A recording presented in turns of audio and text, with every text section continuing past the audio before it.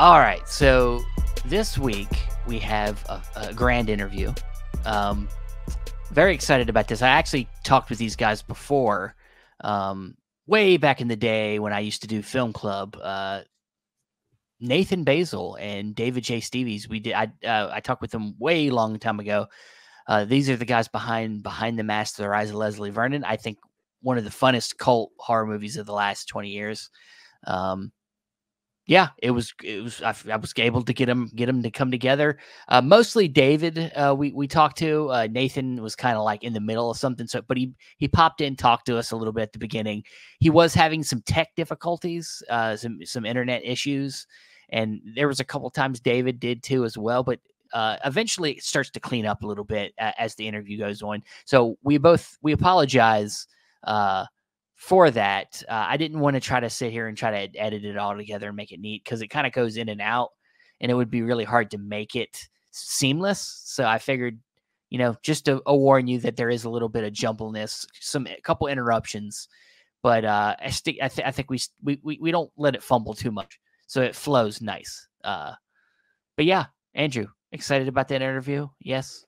Yeah, yeah, it was a a very interesting interview, especially the, the you know the second half. We get into all kinds of different other topical things, dealing with the, the horror genre and dealing with kind of the modern conception of the horror genre, as well as you know classic influences that went into Behind the Mask. For those of you who haven't seen Behind the Mask yet, um, do so any way you can. I mean, it is available on Blu-ray through Scream Factory. Uh, that's probably the best way to see it uh, since this is a physical media centric podcast, I might as well plug yes. that in. Um, it does have great special features, as you know, as well as you know, great picture and sound quality. Came out in 2006, which still boggles my mind because that feels like so long ago, in a very distant, distant past. Which this film feels like it was also ahead of its time, so probably appropriately that it came out um, during that 2000s era. Um, I feel like we live in such a, a meta world now, and this thing is was doing meta things at that time. So it was nice to kind of see where the mind was when it went into the writing of this and the concepts behind it. So yeah, really awesome interview. Yeah, yeah, and and of course we were also talking with him about his new short that links to the Leslie Vernon universe. Uh, wait for it, which you can't see it yet, but hopefully at some point in the near future you will. But with all that said, here is our interview with David J. Stieve, writer, director, and actor Nathan Baesel of Behind the Mask Rise of Leslie Vernon. Well, hello, everybody. Welcome to Chasing Labels once again. And uh, once again, we're going to have another uh, great pair of guests this week. Um, Andrew, you know, it's Halloween time. And it is indeed. We, we thought a lot about this. And, and fortunate enough for me, I, I, we, I actually had connections with these guys before uh, way back in the day, many years ago, with the old show I used to do. And so I was like, you know, for the Halloween, we got to do something cool. We got to get people connected to the horror community excited. And I didn't, I was like, this is perfect. I haven't talked to these guys in a long time. And uh, to me, this is one of the, one of my favorite cult horror films. Um, uh, it, it, Behind the Mask, The Rise of Leslie Vernon, uh, to me, uh, really, you know, kind of brought us back to that kind of like what Scream did, you know, kind of self-referential kind of mm. thing with horror, but also created a great uh, new character in the horror genre with, of course, Leslie Vernon. Right. And uh, we have here today none other than the writer, producer, and also the star of that film, Mr. Leslie Vernon himself. We have David J. Stieve and Nathan Baesel. What's up, guys? Hey, boys. Hello. So Maybe they let us out of the box. They had us trapped in. Mm, you know that you know, kind of like the puzzle box we, in Hellraiser. We hold back on some of the. You know, we we gotta we gotta hold them back, and then we finally break. We haven't done an interview in months, um, so, so we maybe finally, a little rusty. Maybe a little rusty, but uh, we're glad to have you guys here. Um, thank you for taking the time, and uh, so uh, on, just just on a personal level, uh, how's everything going? How's it? How's the day to day? Um, better now. I mean, I don't know how much you want to jump into that right now, but 154 days of a strike is over, so that's well, that was great news. I was gonna say that's it's it's great that uh finally a deal got worked out and uh and now work can can can uh you know resume can resume. Um, there we are. Well, Nathan's back with us. Yeah, to a degree. I mean, I think. Uh, I mean, I can jump in and say I'm incredibly appreciative and grateful for what the WGA negotiating committee and you know tens of thousands of members holding the line for that long. Um, you know, I, am incredibly proud that we we fought a fight that needed to be fought, and I'm grateful for that. And but uh, that doesn't really change anything until SAG-AFTRA gets their deal done. So I stand in solidarity with them, and that's you know member Nathan's a union member of. So yeah, we're we're there. We're getting there. It's not quite done yet, but I am looking forward to. Yeah, as you said, I'm looking forward to getting back to work. Um, awesome, so. Awesome, Nathan. How's it going over there, man? How, you, I, like I was saying before, uh, you're looking sweaty. Look like you're you're outside, loving the sun. Yeah, I'm sorry about the internet situation. Is this? Come on. oh no, it's okay. But well, until we get that figured out, uh, I, I so, don't know. Oh. I don't know what's wrong. Independent filmmaking. Yeah, yeah, yeah, way, yeah. You know, this, way, you know, it goes, it goes with the the whole theme of the show with the kind of rudimentary independent filmmaking. Um, it feels like we're dealing with 2006 technology right now, with with the way in which um you know behind the mask was made. I did not realize that the movie had come out in 2006, which seems like several lifetimes eons ago. Eons. eons.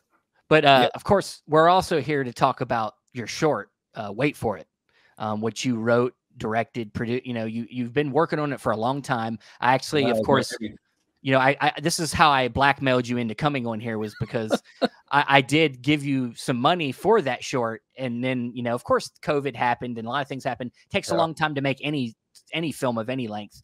And then finally it got finished and uh, I was like, I was supposed to get a chance to see it.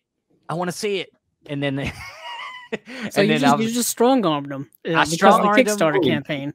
Yeah, we tried. we tried. I mean, standing outside my bedroom window was a little much, Stephen. But I mean, I had a um, re- you know I needed a reason to use that money I got from a bonus from work, and I used it to get a plane ticket. Came out to you. I was like, he's gonna love this because he loves serial killer stuff. So yeah, I could you know just yeah. be out, outside his window.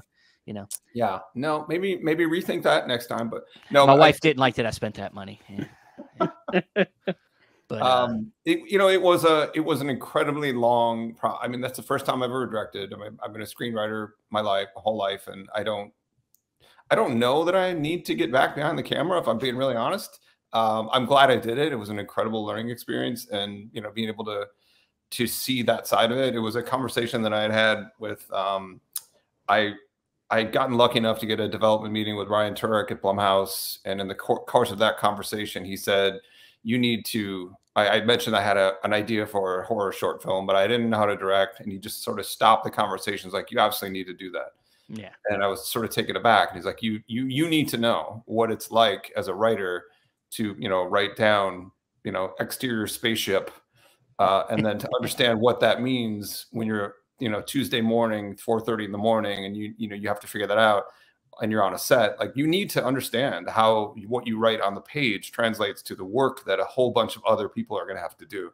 Mm-hmm. And it's some of the best advice I've ever gotten.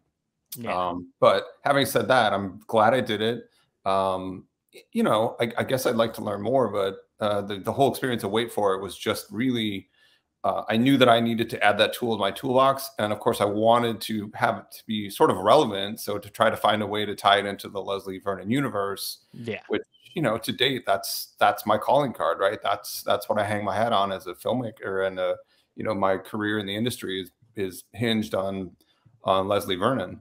Um, so they all kind of folded together. Everything came together well. It just it took a really, really long time. And so I, I, I apologize. You didn't get your, oh, reward no. billings, but just relax, Jesus. We're here now. It's fine. It's fine. I'm, I, you know, I was, I was, I was pissed for so many years. I was so pissed. Um, no, I mean, I, I, I, I wanted to, I wanted to definitely put whatever I could at the time towards that project because I am such a fan of Leslie Vernon, and I know um, as somebody that's an I've done some amateur filmmaking, how hard it is to just do, just to get a group of people together, you know. Um, and of course, you want to pay them people. You want to give them you know what they're worth you know you know and not you know it's fun to get a group of people together just to do something for free yeah a lot of people could do that but if you really want to get the get the talent and get the and you know do it the right way you you need to be able to pay people and and i get it it takes a long time to get that money i mean leslie vernon was made for very a very you know small amount of money but it looks fantastic um Mm. and uh yeah please please um you know before we get too deep deep into leslie vernon uh, canon here i do want to start out with just like the the kind of the basic love of movies like was it was it where did it start for you guys? And um it looks like nathan might be with us now. Um i think he was mountain biking or something. I, he was he was going through you know so i don't know. Lost he dropped his who knows? But uh let's start just at a basic level i want to know where the beginning of like the pathway to to where you are now started david Um, man, I think that the earliest I remember really loving movies was the first job, the real job I got uh, living in Wisconsin. I worked at a, a Pick and Save video store, which Pick and Save was a local grocery store chain in the Midwest, and they opened a video store for VHS and beta tapes. Um, and I, I, you know, I got this job, and it was the coolest job in town because it was brand new, and I was working with movies. And I think that was the, you know, being in that video store and being surrounded by all of those movie titles. Um, that was the first time I was like, wow, this is this place is a portal. This is not this is it's like a library, you know. This is like there's avenues to other places in the universe in your imagination here. And I remember thinking that. Um, I mean, I was probably super high, but still it was relevant. Uh, no, but I think um, no you don't you don't have to take it back we we We understand. it was right It was- it was a You- you- different you- time. it was the truth it's fine Is it happening right now? Oh, did we lose David now? Oh, uh, oh now, now, see, look what you did, Nathan. You you rubbed off on. So, I think so you, you transferred over to him now. all right. So, I guess so I guess it's as good a transition as ever to get Yeah. over to Nathan. So- Ask now that you're here with us, um, please, Nathan, uh, tell us a little bit about your backgrounds uh, for people that don't know about uh, what Nathan Baesel does when he's not, you know, murdering people. oh, Uh, which is most of the time. Yes, yes. Um, yeah, I uh, I teach acting now, but I trained uh, in acting for a long time, a lot of different institutions, and um, and uh, had a good career to out acting, doing things. I'm not done acting, but um, but yeah, did some uh, good film, TV, and uh, and theater work, and um, and I've been teaching for the last um, well, seriously for the last 10 years. And um, yeah, so that's that's my thing now until until until behind the mask uh, you know sequel uh, comes around then uh, I, I'll, I'll just keep doing my my same old hustle well, we we we we we're really hoping for. it. We'll get more into that later, but uh, that's uh, yeah, that's great. You know, I, I I see that I saw most of what you were doing now was uh, I mean, other than teaching, was uh, you do you're doing some post production kind of yeah yeah i do a lot of post-production stuff with the original productions uh, we we do uh, reality tv programming yeah. so yeah that's um, that's definitely been helping me pay the bills so that i can do what i love doing you know Yeah, awesome. I'm gonna, All I'm right. gonna jump in there though and say that I had the privilege of taking Nathan's class. Um, I've tried it a couple times, and I'm not an actor any more than I am a director. But it's uh, he's selling himself a little bit short on his passion for you know his ability to to crack into that with a bunch of strangers is pretty phenomenal to watch, and I think that's something I've always really enjoyed about Nathan as a as a performer, not just as a friend, but as a performer and an artist, is that he he is pretty humble about a considerable skill set that he has. Um, and it's pretty cool to watch him teach because I can see flashes of of that performer coming out in him. Um, so I'm doing everything I can to get him back in front of a camera as soon as Yeah. possible. Well, of course he's a you know I know he gets he, he gets he gets made fun of for this, but he's Juilliard. He's a Juilliard trained actor. yeah it must look good on a resume. it looks good. It doesn't hurt Yeah, I know, right? Um, how, how when it comes to you know how much do you how much do you get your your your students talking to you about Leslie Vernon? Do they ask you a lot of questions about it? Uh, no, I don't tend to talk about it too too much. Yeah. I don't tend to talk about me too too much. Yeah. Um, I, I think that's probably why I enjoy instruction is because I don't have to deal with any of this. Yeah. I get to just deal with that. Yeah, I got you. But back to David. Uh, before you, you know your computer interrupted you. Um, uh, your video store. Da- Hi, David. Video store. Um, Oh. right. Then I, st- I, w- I- when I in college, I worked at an Orpheum movie theater, yeah. um, and it was a beautiful old theater. And at that point, I, I was a creative writing major, and I thought I was going to be a novelist, and I was going to write the next great, you know, great American novel. And I was in the theater one night. I think I was watching like Silence of the Lambs or something, and I just, I just had this this gobsmack moment where I'm like, God, I'm your whole life you've been around movies, you're obsessed with movies. Why aren't you trying to write a script? And I had sort of wasted most of my college years at that point. I didn't go into film school. I didn't go in that route. So I had gotten an English creative writing degree um, and had to then go back almost post college and retrain myself yeah. how to write a screenplay because it's a completely different set of muscle. Um, and I came to it late, but once I started, you know, writing screenplays, I'm like, oh my god, yeah, this is this is it. I mean, Yeah. ultimately, it's about affecting an emotional response in people, and I I firmly believe that film does that, uh, at least if it's done right, um, and you get it out. And, and you know, fitting that we're on this podcast because I still think you know having a bunch of people watch a movie together is the best possible way to do Oh, that. It comes back to theater of of of old, and I think Mm. a shared experience. And if you can evoke an emotional response and get a, a thematic sort of message out there, um, and if you can do that to you know 50 or 100 or 1,000 people at a time in a, in a collective experience, it even amplifies that experience for all of them. And I think that does two things: it affects the individual, uh, but I also think it sort of you walk out of an experience like that a little bit more bonded to the to the hundred people you were in there with. And I think that's something we kind of sorely need in our culture right now.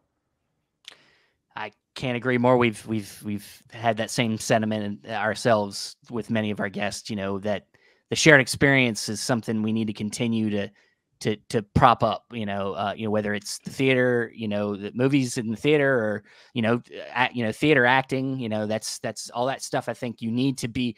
There's something different about it being there with a group of people, and and it, you know, it's contagious. Things the the emotion from the film.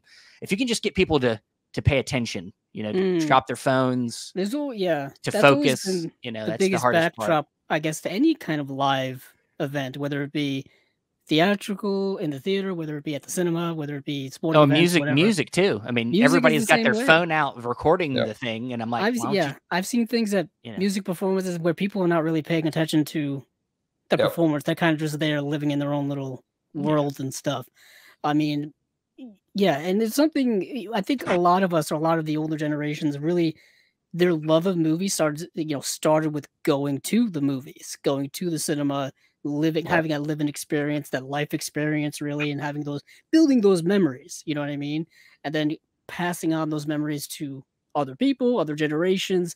The, the magic of movies, if I could glorify it in some some type of God, it's so way, that's- sentimental that's way. so sentimental. Gosh, It's too stop. sentimental, really. Shut up. I should really Shut- shut up. Spielberg over here. I know. Um, Very maudlin. Andrew, Andrew, to your point though, I, I always wonder when I go to a concert and I see like the, the the crowd of people holding their phone up and they're they're watching the concert through their two inch screen, recording it, and I'm like, it's happening live right over it's there. It's right there. It's right in front of you. But you. I always wonder, I always wonder, like, who of those people actually sits down and then watches the concert again on their phone? It None of looks them. like shit. It's gonna look like shit. Why would it's you do it? They just they just do it to post a picture. Yeah. And it's like Yeah. you're cheating yourself at the experience just to get a follower somewhere down the line. It's I mean, I it's know I cool sound to like I'm just like, capture. kids get off my lawn, but God, that drives me nuts. It's like it's happening right in front of you. That said, Stieve, you've got a short film out that you want people to use their phones to uh, acquire and to to watch, right? Wait a Is- second. I- should I Oh, wait shit. for it? Don't shit Oh, on them too much. yeah, you may need them. I see what you did there. I mean, if they want to watch Wait for It on their phone, that's fine. It's 13 minutes long and it's only this big. But you know, I still think they should try to watch it at least on their TV screens. Well, yeah, well, that's Something that's bigger. interesting because we always talk about I mean, Steve and I have talked about what is the artist's intent, what is director's intent. You know, a lot of directors recently have come out against streaming. They've come out against people watching movies, like you said, on their phones and stuff. And it's kind of it's kind of like they didn't make the movies to be kind of watched in that way. You know, did you kind of think about how the, your movie was going to be watched in kind of a modern day way? You know, whether it be through streaming, because I know you're also you're also taking the movie around to different film festivals and stuff. Is that the intended way for uh, for we to be to be watching this? I, I mean, I honestly, I gotta confess, I didn't, I didn't think that through enough when I started this. Streaming wasn't wasn't the end all be all, believe it or not. I mean, I started this idea back in like 2015. That's how long it takes, even just yeah. to do a short film. And none of this would be happening. First shout out I get to make to Chris Jarowski, who's one of my executive producers. Chris has done all of the work to get this thing into festivals. Um, once it was done, you know, it was a learning exercise for me, and I tapped Nathan because I thought that would help get more people's eyeballs on it, but I didn't have a clue how to do that. Um, and then Chris kind of stepped in and said, "Look, you know, you well, I should back up. By the time I I got it done, you know, Frankie Guerrero, my DP, made me look great, um, and Craig Updike, my editor, made me look even better because he fixed the thing in post." um, and called in all the favors. And it's such a collaborative process. And you guys have heard that a million times, but I didn't, I didn't do shit. I mean, this, I, I had, I had the idea and I, I, I got a uh, bunch of people talking with this dude who was for years just, just, you know, wrapping himself over the shoulders with the fact that he wasn't, you know, moving forward. He wasn't doing, he wasn't doing, he wasn't in action, this and that. And then he made a film. He'd never made a film before. He made a film because that's what everybody does, right? They just make a film. And then he went through the entire process from conception to execution to fine tuning and cutting. I mean, that's for me, uh, it, it doesn't even matter if the product ends up you know good. It's just it's Herculean to go through that process. And he took it on and did it and ended up with a result that was, I think, really awesome. Yeah, I, I, I can agree. Yeah, I mean, and, and people could could look at the the fact that it's only 14 minutes. I, am telling you, it takes a big machine, which is the the the film the film studios that are out there, Warner Brothers, to make these two hour. Th- it, it's a machine. When you're mm. talking about this size of a movie, and you only that's have a, a very minute amount of people working on it that's why it takes so long to make such a small because it's hard to make a movie it's not yeah. it's not easy to make any movie and let no matter how small it is and and to make it as well crafted as yours was uh it, it's it, it's a miracle it's a miracle anytime anything's made that well because I, I i have to agree it's it's even for you know as much as you want to take it off yourself that they made you look good the editors that you know but you had a vision the visions right. always starts with the director, uh, and and then you you collaborated, which is the whole thing.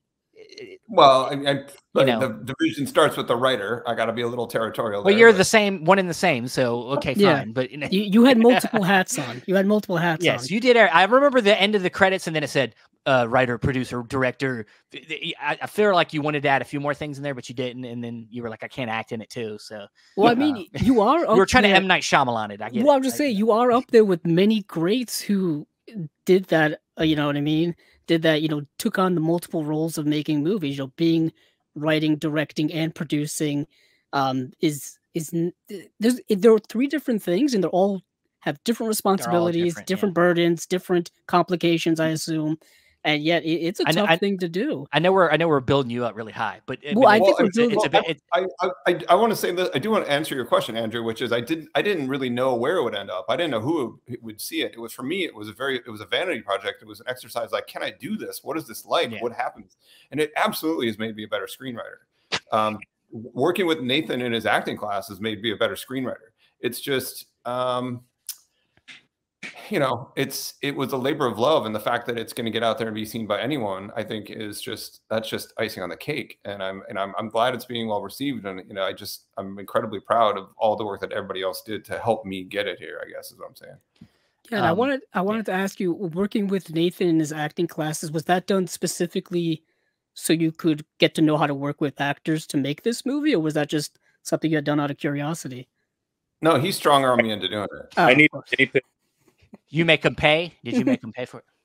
I don't think I made you pay. Uh, maybe I did make you pay. I probably made you pay. Yeah. Guys, I got to jump off. Um, Okay. I I'm uh, gonna join my group, but um, it's good to see you all, and uh, Thank you. um, love you, Stieve. All right, brother. All to right, you soon. guys. See you in, uh, Thanks, see you in Nathan, for taking Sacramento. See you in Sacramento. Those aren't pillows. All right, man. So Have a good one. Nathan and I are Nathan and I are going to uh, Sinister Creature Con. Yeah. Plug plug alert, and it's so cool. Whenever I get to appear with Nathan, I mean nobody comes to see the screenwriter, but Nathan and Angela are both going to be at Sinister Creature Con on October 22nd, I think. And Yeah. so they uh, Tim, um, the organizer, you know, found an extra chair for me, so I'm going to get to go up and and sit and talk shop and talk to fans with Nathan and Angela and ride their coattails. And I can't wait. It, I'm sorry you couldn't stick around longer because that guy Oh, it's is okay. Oh no, that's fine. It was very no, good to I- meet him in general. You're Yeah. you're the man behind all of all of this stuff, man. You're you're you're from the you're the one that helped conceive this whole idea. So, you know, uh, you're definitely the guy we want to talk to. Um, so you know, of course, we want to get a little bit into into Leslie Vernon itself, but wait with wait for it. Um, you know, of course, you've had you've wanted to make a sequel to uh, Behind the Mask for a while. And uh, no, there is a comic book. If nobody's aware of this, there and I, I didn't get my hands on it. I, I always wanted to get my hands on it, but I know there's a comic book uh, before the mask um, that that kind of gives you a little bit of what the sequel could have been. Um, uh, tell Well, tell yeah, everybody I mean, about that. in the in the in the lore of it i mean the so we we worked on the sequel almost immediately because Yeah. you know we uh, even though behind the mask didn't do well commercially we got a sense pretty quickly that the fan base was starting to respond to it and that's that has carried through for all this time and i i always say every chance i get none of this would be happening i wouldn't be here talking to you guys without the fan base this this thing got no help no push no advertising no nothing and it just it found its legs in years three, five, seven, 12, 15. And it's just, it's never, the fans have never given up on, on Leslie Vernon. And uh, none of this would be happening without them. And, but even in the immediate aftermath of that, Scott Glosserman, the director, and I knew like, okay, we got to, you know, there's more to tell. And so I wrote a sequel. We couldn't get the funding for it, which is incredibly frustrating. Um, and it just ended up, we just ended up like, we got to get it out there. Like Scott, I think Glosserman got to a point where it's like, we're just sitting on this. This is no good. It's just it's on your hard drive. It's on my hard drive. Let's get it out there as canon, and and we'll go from there. Like you know, we got to give, we got to do something to keep the drumbeat going. And it ended up being the the graphic novel. And Nathan Thomas Milner, who did the artwork, is fantastic. And I always say, if you don't know his artwork, oh man, look, get to know that guy because his art, his horror fan art, is just next level stuff. Um, Yeah. And so to get him to do the graphic novel was absolutely a coup. So the point of all that is, is we couldn't get the movie made, but we didn't want to give up on it. So we found a way to get the neck. The, it is a sequel. It's called Before the Mask: The Return of Leslie Vernon, which is, of course, itself a deconstructive play on sequels, prequels, remakes. Right? It's sort of all of them rolled into one. Um, and then that story itself, there's sort of a meta movie within a movie, sort of self-referential, kind of a scream, sort of a nod. So, you know, we did everything we wanted to do with the sequel. And the graphic novel, Nathan did his best, but you can only do so much with, you know, six six issues and panels. Um, and I'm bummed that this film itself, the full weight and breadth of it, never got made. Um, but you know that ship has sailed, and people always ask, "Well, well, you know, what if you do? Why can't you do it now? Why can't you do it now?" Um, it's too dated. Uh, you know. Nathan and Angela have, have aged out of it. Scott Wilson's passed away Yeah. you know robert englund's not you know necessarily where he used to be Hmm. um so it would be really pretty ridiculous to try to you know get a bunch of people to pretend it was 2010 yeah. um so the the next level then is well if we're going to do another leslie vernon story it would have to be contemporary Yeah. and you know, that's that's the goal now and that's that's what drives me and like you know it's something i desperately want to to bring to reality and nathan's down for it and everybody's back and everybody's in it's just it's a matter of the business side of it Yeah. It's which it's is always the most complicated part. You know, for those of you like listening and for those of you watching this in the future, the business side of filmmaking is like a whole other but like bag of whack, bag of stuff. You know what I mean? We don't talk about it a lot, and we, we Steve and I are no experts on it, but it's you hear about certain things all the time and and press releases and all kinds of stuff, but it's so much more in depth than that. Even on a project as small as a sequel to a you know a low budgeted horror film from the 2000s is probably so like you said so complex to And try to get off the ground really I see so many crappy horror movies get sequels all the time. Um, Well, and it's like, you know, it's it's really kind of I, i'm pretty sure luck has a lot to do with it nowadays and stuff and just the you know you find the right financing you find the right people you make the Yeah. right calls you do all the stuff i mean but it's and then of course you- as you said dave uh, david it's you know time is also a factor too you know it's a Mhm. movie that came out in 2006 what is the audience for it now compared to back then completely different obviously Right. but also know, like but the whole I- game is different in terms of movie marketing and movie selling and all that kind of stuff That's true. I, I think Hmm. the, the two things that lead to mind there are one, you know, the, the fan base has never deserted us. So I, I, I think that, you know, if we're lucky enough to get a third, a third story off the ground, I think it's going to be very well received. I think it'll be better received than the first movie because now you guys have, the fans have done all of the work for the past, you know, 15 years to build that fan base. Um, but to your point, Andrew, I think what I struggle with having lived in Hollywood for two decades is, that this the the system is broken.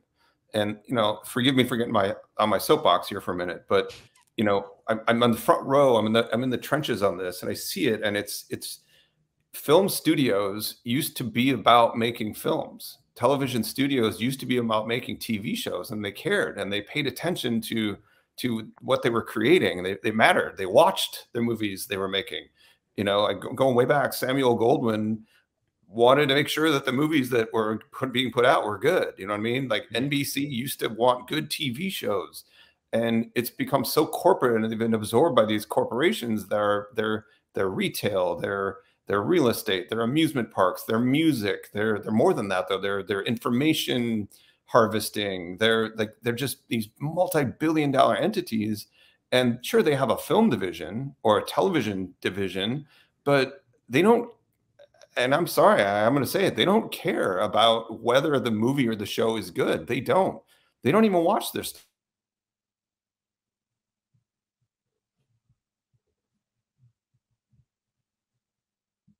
I lost him again.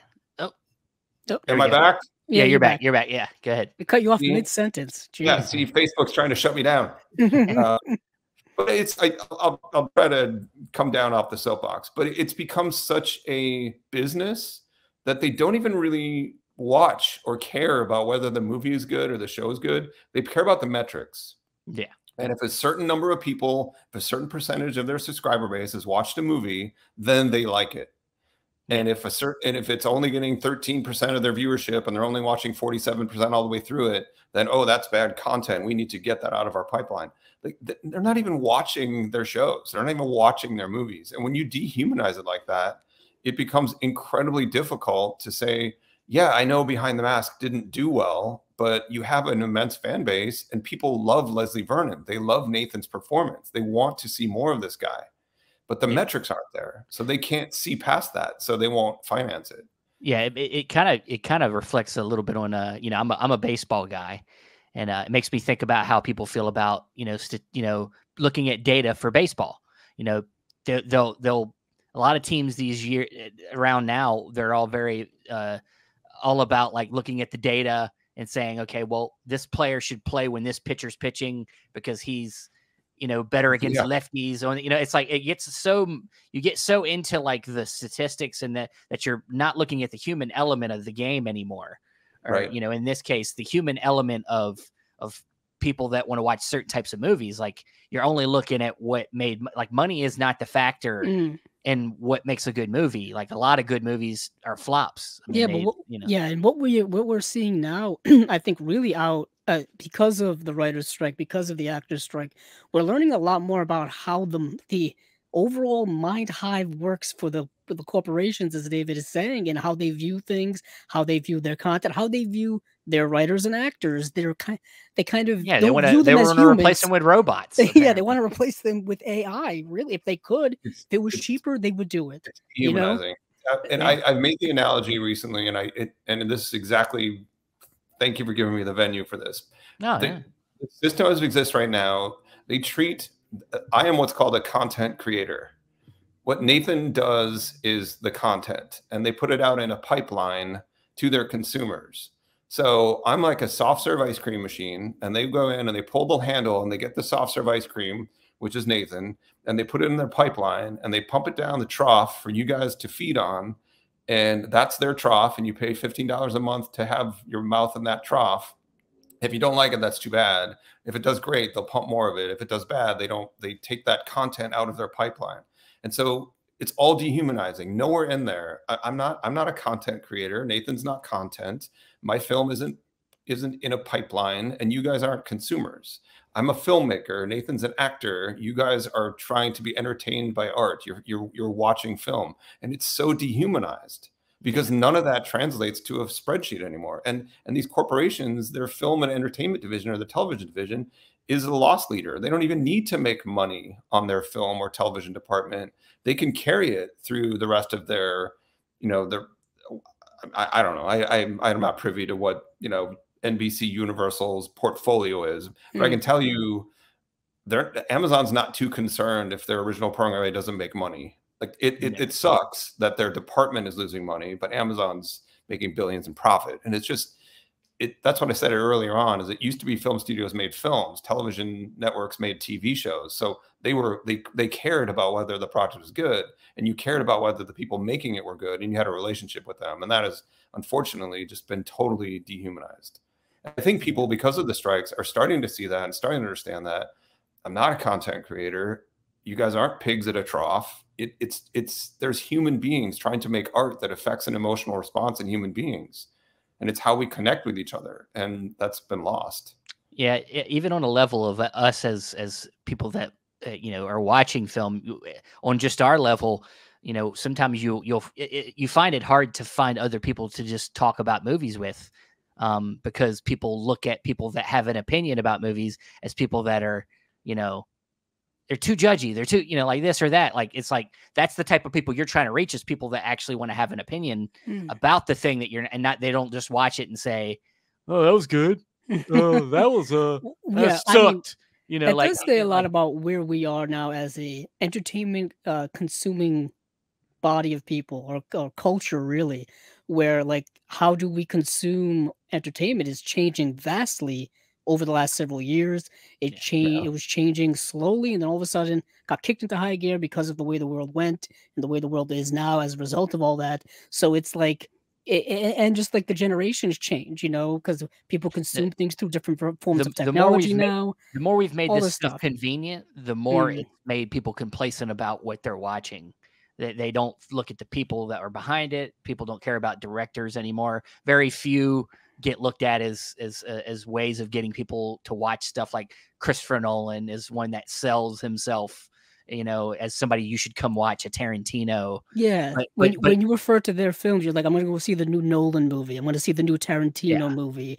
I mean, But um, that's like the very actors- small. uh, some know. actors still have that cachet. I say, you know, I don't, Um, I don't know, Andrew. I think I think my my terrified I'm terrified for the actors because I think we're entering a phase now where I don't think there are going to be TV stars anymore. I don't think you're going to have anybody that that is a, a, a worldwide, you know, or even a national TV star. There's too many shows, and if you're not already on a franchise, I just don't think anything is going to reach that that tipping point. Like you know, like Pedro Pascal, maybe maybe he's going to be like the last sort of guy who's a And TV star. and that's because he's on so many things. So you, his, Right. vis- his visibility is so high that you recognize him constantly. You know what I mean? But that's what And I'm that- saying. There's not going to be there's not going to be any more venues for there is. I don't think there's going to be any more breakout TV shows that everyone's going to, like. You know, like who are the like name name me the top three actors from Game of Thrones, and then name me the last project that they did.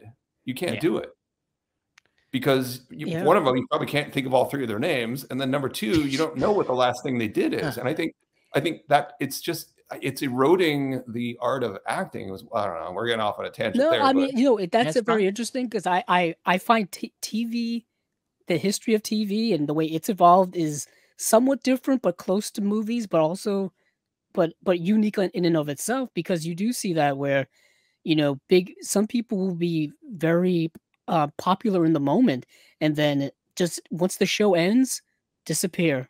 You know what I Mhm. mean? It happens all the time. It happens with some movies. There are some actors and actresses who they'll do two, three, maybe four movies in one year, and then you won't see them for five years. You know, it happens. That happens there as well.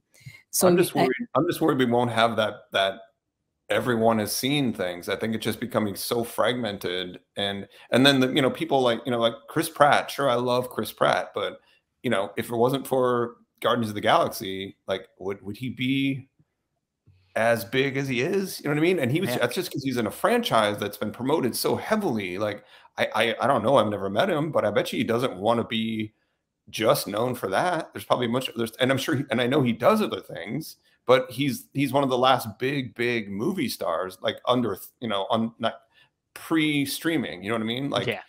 He's he's I think he's the biggest streaming era movie star right now, for example. yeah, probably I probably like- Dwayne Johnson too. Dwayne Johnson's kind of made his he was- way. but he, no, no, no, because he existed before streaming. He was wrestling. oh he well, had- yeah, yeah. huge Yeah. movies. He established himself pre-streaming. I'm talking about somebody like you know the streaming area era, Guardians of the Galaxy. Like Chris Pratt is somebody that I, I Yeah. immediately lean to because that's he's somebody that's out there in that streaming context. That that's one of the last stars that everyone's watched those movies.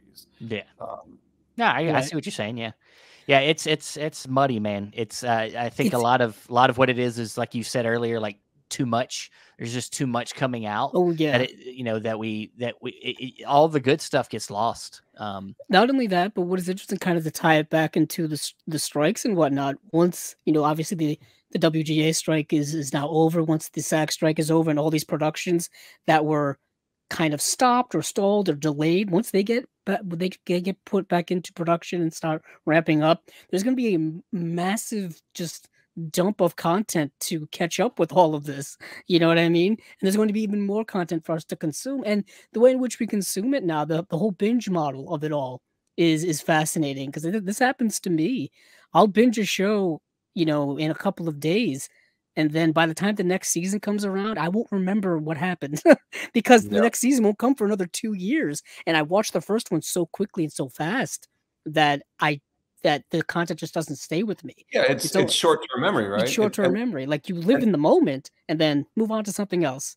You right? know? And then you don't, and you don't. Those those characters don't impress like the way you know. I, I'll date myself, but you know, Han Solo like has been with me my whole life. You know what I mean? And like I don't see a character like that. If I have to binge three seasons in three weeks, you're right. And then wait two more years, like I'm I'm not gonna care about that character anymore. I haven't spent. It's like a it's like a one night stand. It really is. Yeah. Like we're we're having one night stands with these shows and we're not forming a long-term relationship where you do have to wait uh, every week or you do have to wait for a couple of months or the next year for the next season to come out um yeah. i don't know see- no, it's a good. It's I. I, I I'm Yeah. yeah. But uh, but I do, I do want to circle. Let's go back over to, to um uh wait for it because uh you know like you said th- this is um something that you this came out of just needing to update you know where where you were moving forward when it came to Leslie Vernon's uh, story. So please t- to sell people on when now of course we don't know when this is going to hit the public yet. I don't know if there's anything in the works with that yet, but it is going around to festivals. But to to sell people on the idea of this uh, short film, please tell pitch it to everybody. Uh it's a love note. I call it an easter basket because it's filled with easter eggs for you know slasher type films. I mean it's really a you know like a pause and pause and examine it type of a thing but um and i don't want to oversell this as a leslie vernon project. Um Sure. you know it's in that universe but it is I, I don't want anybody to be disappointed like you know leslie's not stomping and killing through this film. This is this is an examination of uh, another um, survivor girl which in in leslie's world those are final girls Yes. but in the context of universe of leslie vernon stories you know final girl is a real world connotation from a book written by carol clover you know men women and chainsaws and final girls become uh, you know uh, an archetype of modern slasher horror in our real world well, in Leslie's world, those movies don't exist. In Leslie's world, Michael Myers is a real guy, Jason Voorhees is a real guy. So Carol Clover never wrote that book. So I wanted to make it Survivor Girl instead of Final Girl, just to sort of do a little bit of a meta shift. Um, so um, the short film "Wait for It," therefore, is really an exploration of one of the things I love the most about horror is. I, I always sort of feel a little disappointed when we get to the end of a slasher film and this and the and the killer is just stalking around and you can see him and it's out and it's just a fight and they end up in a fist fight. Like yeah. I, I enjoy it, but I'm always a little disappointed. Like, oh man, he's out. You can see him. I've always enjoyed the build up. I've always enjoyed the waiting for it. Like, you know, is he gonna is he gonna pop up? Is he not? What's happening? The world is shifting from normal to something's up. Like that's the moment in horror that I've always enjoyed.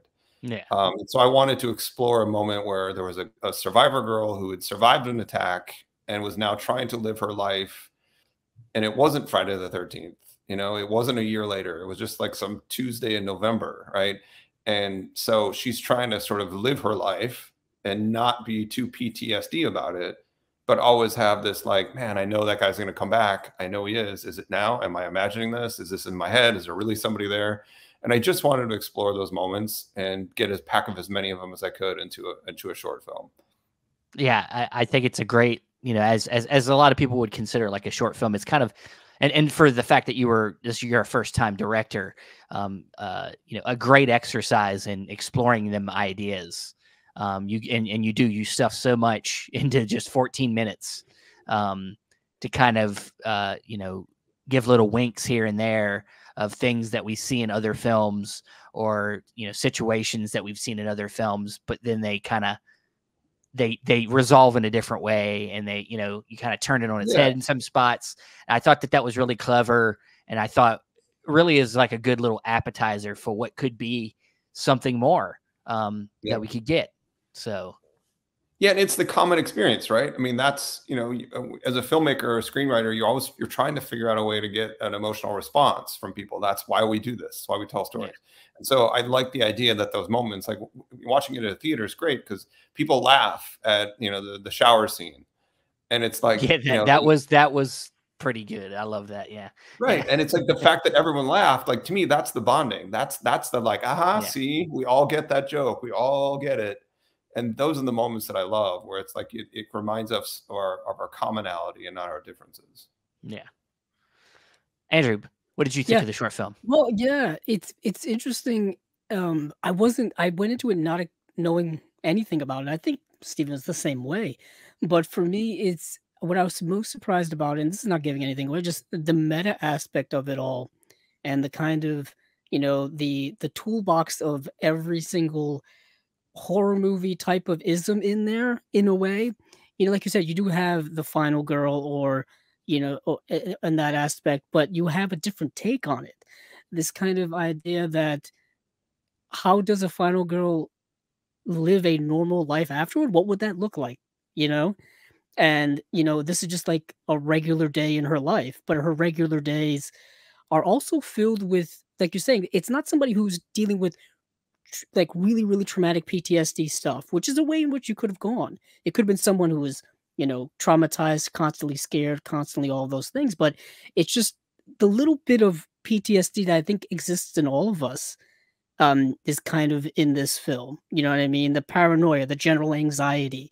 I mean, obviously with this person, it's it's more so because of her life experiences, but I think that everyone is kind of dealing with some type of anxiety about something in their past in the past of their in their lives. And the, the film kind of plays on that. Also um yeah it was really just overall you know well shot with certain homages and all that cool stuff.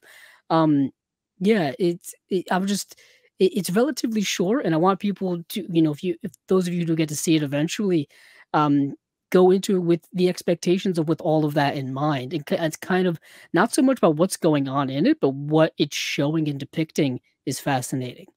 Um and yeah and i think i, I think yeah. I mean it's it's the common it's the common again it's the commonality right? It, it's it's about it, I, we're not trying to fix anything. I'm not trying to i'm not trying to i'm not trying to offer a solution to any of these problems in 13 minutes.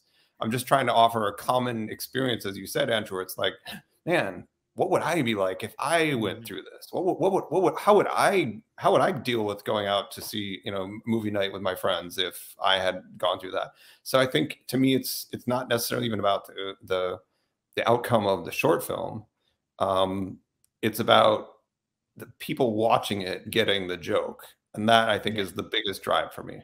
Yeah. So is there is there any talks yet of, of any way to kind of get it out there uh, for people yet, or? I mean, I think again, Chris Jarowski's the he's the guru on this. I I yeah. mean, I, I would be lost without him. He's just so good at at figuring out where to go, who to go to, what to do next, what order. And I think that you know the, the plan is to run out the festival clock where there's still a few coming up in 2023 and early 2024 you know if we can get one or two you know feathers in our cap with a bigger one then yeah then i think once we've sort of spent that then we'll look at a way to to monetize it and you know get it I, you know i i don't know. I mean that's not that's gonna be the next learning curve for me as a mm-hmm. filmmaker is what do I do with the short film in the streaming age in post strike and how will that work? And I have no idea, but I, we, I definitely want to get it out there, but you know, and not to dangle a carrot, but the, the part of the other reason for this and the reason for including Nathan in it was to keep the drumbeat of Leslie Vernon alive because, you know, I, I hate, I always say we we're like Charlie Brown, we're like Lucy Van Pelt pulling the football away because we keep saying sequel, sequel, sequel, and then it just yeah. doesn't happen in 20 years but we, we haven't given up as filmmakers. You know, I have not given up on. I know, I know the story I want to tell. Scott wants to act, direct it. Nathan wants to act it. Like we're not done with Leslie Vernon, um, and so anything we can do to things like this, where we get to talk about Leslie Vernon again, if that can get a thousand more people saying, "Okay, if something happens, I'll be there," like that's absolutely one hundred percent why I'm doing this.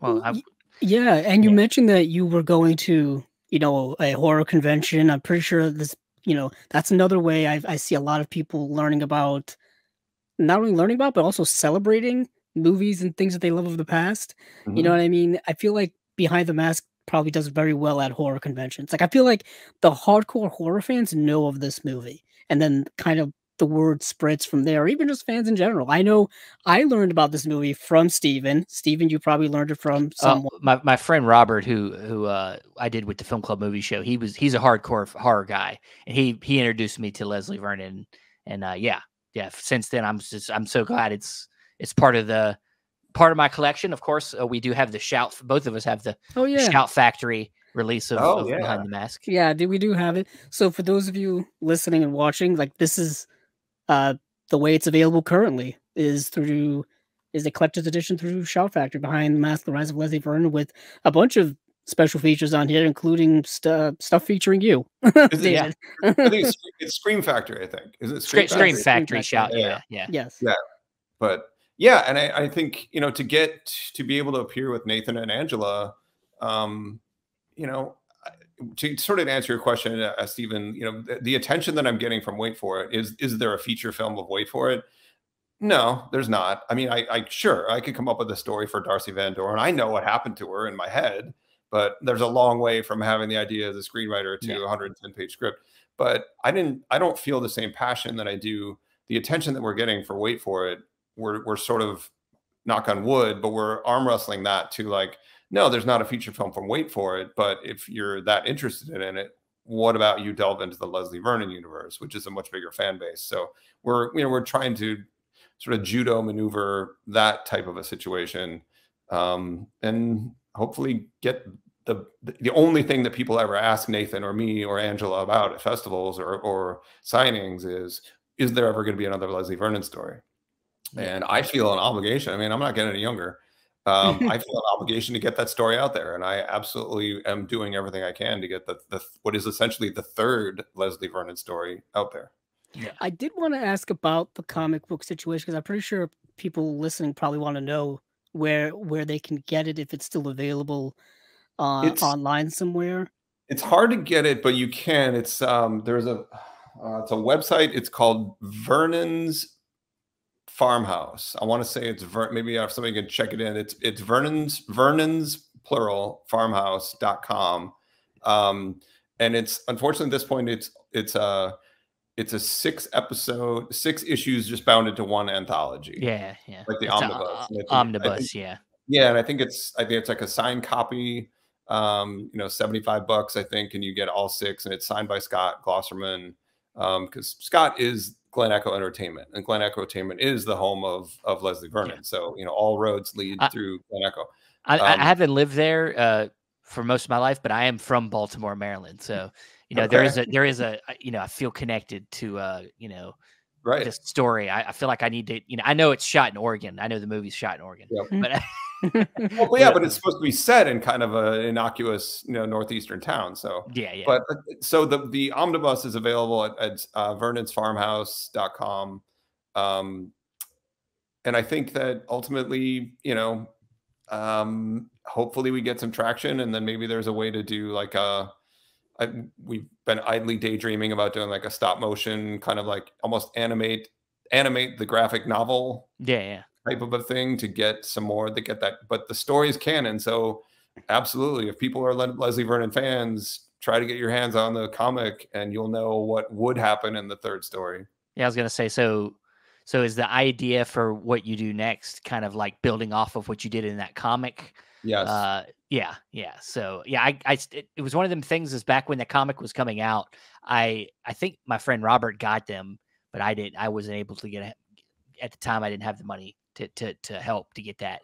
But um, but yeah, I I, I think I'm gonna definitely get the omnibus then. Um, now that you're saying that it's got a place that you can still get it, so um, I'll be excited to learn what happened then because uh, I I never Yep. never got a chance to read it. So yeah i mean the, you know that that's sort of like halloween 2 type territory where it's a little bit Yeah. closer to the original um you know where we go from here is you know the the metaphor is what's happened in the intervening 15 years since you got to do the ha- you got to do the Halloween H two O. You know, in twenty. yeah, or or more or more Halloween kills, like Halloween, Yeah. Halloween ends, Halloween, Halloween kills, Halloween ends. That that trilogy to me is really that that what David Gordon Green and and uh, Danny Danny McBride did. Like that that to me, I'm sold. Like that that's that's how I would like to end. But that's how I would like to not end, but that's the direction I would like to see like Leslie and Taylor's story go. Okay. Yeah, that's that, that kind of bring I guess transitioning into this this idea, just kind of your genuine influences when it came to the story for Leslie Vernon. Was it